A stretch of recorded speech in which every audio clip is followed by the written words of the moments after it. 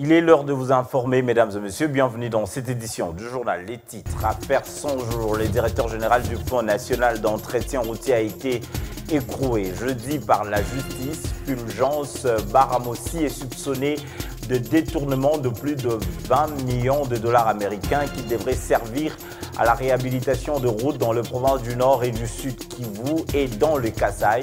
Pendant ce temps, le directeur de cabinet du président de la République en détention provisoire à la prison centrale de Makala sera en confrontation aujourd'hui avec les chefs d'entreprise commis aux travaux de 100 jours selon certaines sources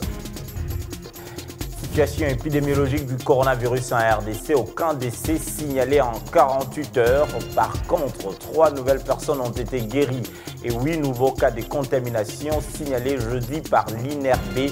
Depuis le début de cette pandémie, le cumul des cas est de 215 confirmés, dont 20 décès, 13 guéris, 139 patients en bonne évolution et 84 cas suspects en cours d'investigation.